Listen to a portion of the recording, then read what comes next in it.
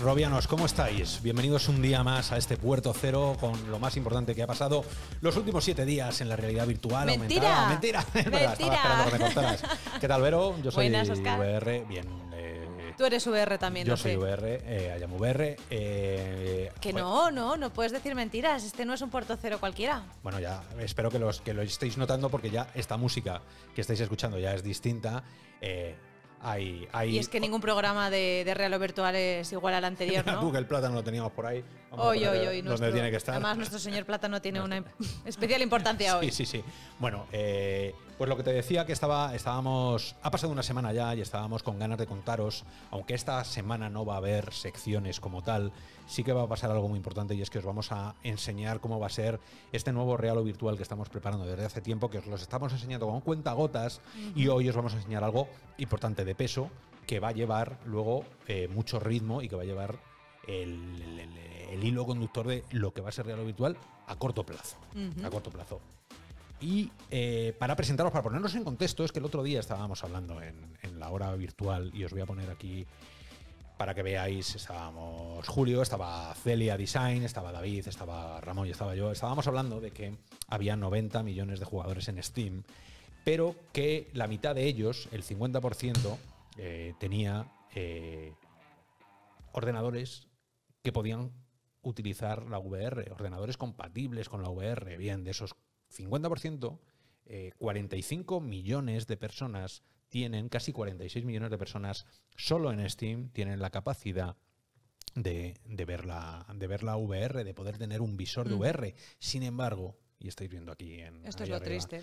1,76, un millón y medio son los que realmente tienen visor. ¿no? Y entonces Bueno, habla- ¿no? No está mal. no está mal, pero hablábamos internamente de, de la pena, ¿no? De, de- de cómo conseguir, si estábamos fallando en algo, en cómo Ya conseguir- tienen la- lo necesario, ¿no? ¿Qué, qué les falta para meterse, ¿no? Eh, para, para claro, descubrir este lo mundo. tienen, pero no lo hacen. Entonces, eso es, eh, nos dejaba a nosotros un poco, bueno, eh, esa autocrítica que tenemos que tener de, de cómo lo estamos haciendo también otros canales que están ahí y que lo están intentando. Que ¿Cómo es- estamos comunicando la Claro, realidad virtual? eh, las visitas que tenemos, todos en general, eh, no solo nuestro canal, sino las visitas en general de la VR, que no parece que se disparen en ningún momento, cuesta muchísimo conseguir que venga alguien nuevo. Y bueno, eh, también teníamos, estáis viendo ahora mismo aquí el, el- el otro gráfico en el que dice que estos son cuántas grandes eh, empresas habían tenido éxito, cuántas eh, Habían conseguido inversión, ¿no? startups habían conseguido inversión en los últimos cinco años o en cuatro el años. mercado europeo. Eso es, en el mercado europeo. Y vemos que España sale ahí, pero solo muy, muy bajita, ¿no? En una quinta posición, que no y eso está mal. nos venía también a reflexionar del papel de España y de Latinoamérica en este en este mundo de la VR, de la divulgación de la XR, ¿no? Y eso es, bueno, ser tan pocos de momento, mm, por la razón que sea, también da la idea de, o, o da las razones para que muchas empresas, que no voy a decir nombres, pues o no te envíen un visor nunca, o no quieran hacer nada de publicidad contigo, o no quieran eh, meterse dentro del mundo de la VR para divulgarla junto a nosotros, nosotros o cualquier otro canal. ¿eh? Y eso es lo que nos está haciendo muy complicado el, el llegar a más gente. Entonces, bueno, para intentar, para intentar llegar a un poquito más de gente, para intentar buscar y explorar otras formas de comunicar, ¿no? Y de llegar a esa gente que seguro que le interesa la VR, es. pero aún no lo sabe. Eso es. Mm. Eh, tenemos dos planes. El primer plan es preguntaros a vosotros, robianos, que cómo creéis vosotros que podemos llegar a más gente, no solo real o virtual, sino cualquier persona, incluso vosotros que os dedicáis a la, a la divulgación, en ese pequeño grupo que podáis ser de amigos, vecinos, eh, familiares, compañeros de trabajo, lo que sea, ¿no? Y de qué manera podríais eh, esperar que un medio de comunicación, como aspiramos a ser en real o virtual, eh, os demos, les demos a ellos esas no sé, ese contenido, ese ¿no? contenido, Eh, novedades, ese tono, noticias, juegos, lo, lo que, que sea, necesitan ¿no? para, Entonces, para informarse de esto. eh. Yo creo que una de las maneras que vamos a intentar desde lo virtual va a ser llegar a otra gente con otro tipo de discurso, más allá que el que nosotros hacemos o el que podamos hacer en, en la hora virtual. Vamos, resumiendo, carne fresca. Carne fresca, gente nueva, eh, podéis pasar cuando queráis. Vamos a dar la bienvenida, la bienvenida a Jorge, a Piki y a Diana. Diana Diana Quest. Quest. Les tenéis aquí ahora mismo que están entrando. Ellos dos, ambos dos, junto con nosotros y con todos los participantes de la hora virtual, más los profesionales de Ciudad Permutación, que volveremos en cuanto todos se pongan en su sitio de nuevo, haremos un equipo, un frente común para divulgar la VR más allá de las fronteras que ya tenemos, más allá de vosotros, robianos, más allá de nuestras familias, amigos y vecinos. ¿no? De primeras, muchísimas eh, enhorabuenas por probar primero, ¿no? Por probar primero la VR, que eso no es fácil, porque de los dos, uno al menos no la conocía muy bien, la VR hasta hace poco, ¿vale? Y de segundo, las preguntas de rigor para que la gente, para que les vayáis conociendo. Vale, coge, coge el palo, el palo selfie, eh, George. Sí, joder, que no he hablado ni nada, ni un saludo. Ni un saludo, ni nada. pero porque somos unos rancios aquí estaba siempre. viendo que estaba muteado.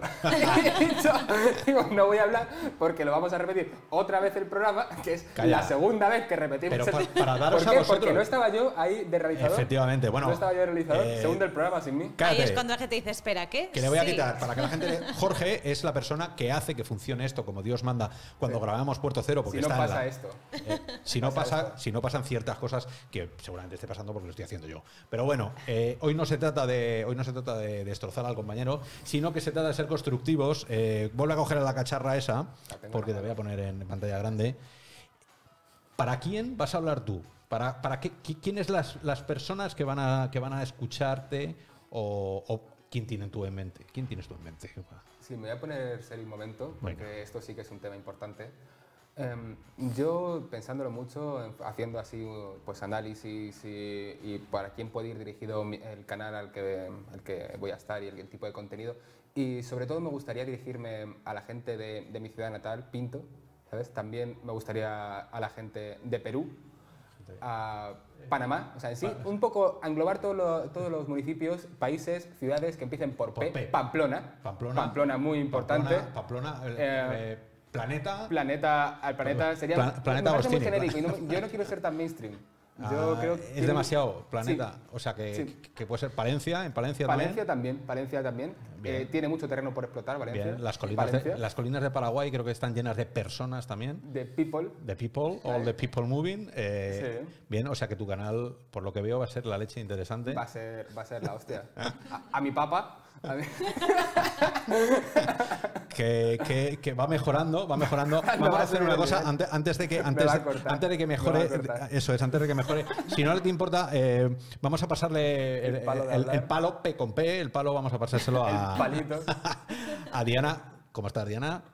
Muy bien. Muy bien. Nerviosa. Bueno, eh, nerviosa es normal. Eh, Diana hace no mucho que conoció la VR, tú la conocías por encima, pero desde hace no mucho eh, ya empezaste, claro, nos conociste y te, te, enamoramos con la VR. Eh, ¿Cuál fue tu primera experiencia con la VR?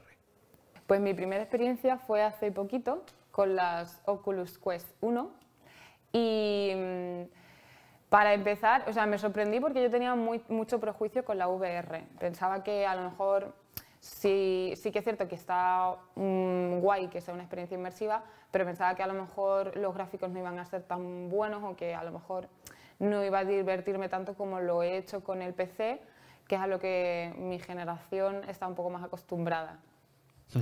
Pero, pero sí que es cierto que, o sea, tampoco probé juegazos. eh, fueron juegos de, pues, el, el Beat Saber, que me han dicho que es uno normalito, y el de las pistolitas, que nunca me acuerdo del nombre, Pistol Whip. Pistol Whip, que también Whip. estaba, también estaba divertido. Y la verdad es que me lo pasé muy bien. Eh, de hecho, lo que digo, o sea, sudé. En el PC te quedas frío y con las, V, con las gafas de realidad virtual eh, sudé. Me lo pasé bastante bien. y, y además me di cuenta de que, pues precisamente eso, ¿no? que tenía mucho prejuicio con la VR, que no tenía ni puñetera idea de lo que era y que, y que realmente, o sea, solo sabía una, una pequeña superficie de lo que es realmente la, la VR. Em, pienso Bueno. que es un mundo bastante avanzado y bastante grande que no se conoce tanto como lógicamente yo creo que debería conocerse. Bien, pues Por la experiencia. O sea que vamos a ver, para Sí. también la- para que la gente, para que Robianos sepáis eh, a quién va dirigido cada canal. Tu canal, Diana, va a ser un canal mucho menos técnico que el que nosotros eh, nos ponemos. Déjame, déjame pasar para, para que nos veáis a los cuatro Sí. y, y para que nos veáis a los cuatro. Va a ser un canal mucho menos técnico que el que nosotros en la hora virtual podemos Si hacer. hacemos más técnico ya... ya Eso es ya- casi ya imposible. palmamos. es que no se puede. Vamos a pique, ¿eh? Después, después vais a tener el contenido de, de Puerto Cero, un contenido donde está lo mejor de todas las experiencias que vamos encontrando con el bibliotecario binario La Madriguera, con eh, Oscar Chile, todo lo que pasa en Latinoamérica, y para intentar llegar más allá y poder conectar con, Con esas con- nuevas generaciones. con esas nuevas personas que viven en Palencia ¿no? y, en, y en Pozuelo y, people. y- y toda la Y en people. Pinto, sobre todo. y en Pinto. Eh, vas a estar tú. eh, coge el palo, coge el palo, que me ha molado eso del coge palo. el palo. Venga, coge el palo. Eh, tú, eh, Jorge, Sí. vas a hablar de, de experiencias, de juegos, pero a tu modo, ¿no? A mi modo, sí. Nosotros no vamos a entrar. Haré lo que pueda. No, no puede ser muy técnico por, por cuestiones ya... De salud. Fisiológicas. De salud. si no te da, pues no te da. Y, y pues para lo que me dé, pues intentar al menos que sea entrete- entretenido. Muy bien. Lo más entretenido que pueda. Que me odie la menos gente posible. ya me odia suficiente gente en mi casa y en el trabajo. Y, y ya está. Y poco Vale. más. Lo intentaré. lo me voy a esforzar. me voy a Te vas a esforzar. Bueno, eh, lo que es muy importante es que, eh, Robianos, sepáis que vamos a estar todas las generaciones distintas, porque, porque a ti no te he preguntado, no te he preguntado cuál, cuál A fue mí tu no me has primera- preguntado, no. te he preguntado nada. No. ¿Cuál fue, cuál fue tu primera? como ya lo hemos hecho antes, pues ya te pensaba que lo había hecho. Vamos a ver, ¿cuál fue tu primera experiencia? Que porque hay gente que no. eh, nadie ha visto la primera toma y Es esta es la segunda, entonces tendrás que volverlo a explicar. Eh, venga, Cojo el coge, palo, coge el palo venga, coge el palo. Vamos para, con el palo. A ver, Mi primera experiencia de realidad virtual. ¿te pongo música así romántica Sí, o no tiene favor. nada que.? Hombre, si la tienes, no la tienes, ¿verdad? No, no, Has ofrecido y no la tienes. Tengo, tengo, mira, tengo, tengo. eh, Ponme la comunidad. Estará por ahí en desuso. es verdad, es verdad. No, Ponme la comunidad de Tengo, fondo. mira, tengo la de Ciudad Permutación. No, un saludo a Ramón, desde aquí. Es verdad. Mira, así, bajita, una música bajita. Tú no la estás escuchando. Ya no la estoy escuchando, Pero te fías de mí. A ver, ¿qué, Vale. qué narices, qué, qué probaste tú por primera vez? Pues allá hace cuatro años o así, cuatro o cinco, no lo sé. La verdad, en las DK, eh, con las DK1, Pero llevaba- la primera Tú experiencia. no llevabas barba entonces. Yo llevo llevando barba Desde los, Desde desde los que siete años. mi barba es perenne, no me recuerdo sin barba, ni mi madre tampoco. Eh, pues probé una experiencia que consistía en pulsar las dos teclas control Sí. y te aparecía, de repente te aparecía un velociraptor, te aparecían unos cuchillos flotando que te caían. Y claro, consistía en no quitar lo- lo- los brazos. Ajá. Y, Y, la verdad que, claro, joder, la primera vez que lo pruebas eso, pues, o sea, ahora mismo lo aguantas, lo aguantas bien. O sea, también era muy guay que, que, que tocabas el teclado, o sea, no había mandos ni nada y no había que quitar los brazos del control. Si los quitabas, perdías. Y no me acuerdo si gané o perdí. Muy bien. La verdad, muy puede bien. ser que Pues perdiera. esa fue. Esa, esa, la verdad es que mucha gente pasó también por. Sí, es que esa era, muy, era de las mejores. era muy socorrida, ¿eh? ¿no? Era- era esa era de las más impresionantes que había al principio. Eh, sí, y. El velociraptor patinaba un poco. Y pero- tú. Vero, venga, ya que estamos. un montón. Eso tuvo que estar guay. La mía de Velociraptors no fue, pero sí que fue un poco cinematográfica porque estaba, era también fue con unas de K1 también eh, en un máster. Eh, de hecho, me las puso el fundador de Future Lighthouse, Nicolás Alcalá, Bueno, y era de la película de Divergente. Claro. Que si la habéis visto, la peli no es muy buena, hay que decirlo, pero la experiencia molaba mucho pues porque te metían como en la sala de simulación, estabas en una silla, de repente terminabas en lo alto de un edificio rodeado de pájaros que te atacaban y tal y, y yo me acuerdo de agarrarme a la silla en plan, estás aquí, esto no es verdad, pero Dios mío, qué experiencia y a partir de ahí todo cambió para mí. Ya se me puso entre ceja y ceja que yo tenía que, Bueno, pues que estudiar la VR. Tenemos una VR muy, muy actual, como es la tuya. Tenemos una VR Más eh, más casual, más antigua, un pelín más, un pelín más original de, la- de- de hace unos años. Tenemos una también que estaba muy bien, que era la Para la época para estaba muy bien. estaba muy bien. A mí me llevaron mis padres a un puerto, a un puerto iba a decir, a, un, a un puerto, a Puerto una plaza, a una plaza, a una plaza, la plaza de Santander, que está, que está en Madrid, que está cerquita de Vallehermoso, donde yo nací, y me llevaron allí porque había una exposición y habían unas carpas, y entonces ahí había unas Virtuosity, de esas que son las que llevaban este amarillo, que era un casco que a mí me quedaba como un casco oscuro. en plan alien, ¿no? Sí, bueno, que era, era ridículo, era como un barco en la cabeza, donde había unos, unos, pues unos cubos que se movían y una bola que recuerdo que se movía, punto pelota. Yo no había nada. Cubos y bolas. Cubos y bolas. Y eso me lo pasé Y esa fue mi primera experiencia. Luego con los años, pues ya de K1, de K2, tacatá, tacatá, pero esa fue, esa fue mi experiencia. que no ha mejorado desde entonces. Vaya ¿no? que no ha mejorado. Eh, y eso, y eso es importante porque estáis viendo las experiencias de cada uno, que son muy distintas en el tiempo, y es lo que vamos a intentar con real o virtual, con lo que ya llevamos hace tiempo, que como somos varios y queremos que sea una comunicación distinta, diferente, para intentar llegar A toda la gente posible. a toda la gente posible. Y los perfiles. Eso es, que no solemos llegar. Así que con esto nos vamos a despedir eh, esta semana. Perdonar por no haber hecho todo lo que solemos hacer, pero bueno. Esto también, es así, somos claro, un medio lleno de sorpresas. un medio lleno de sorpresas. Estamos invirtiendo mucho tiempo eh, y mucho esfuerzo en sacar adelante otros proyectos que forman parte de Real Virtual. Los iréis viendo muy, muy en breve.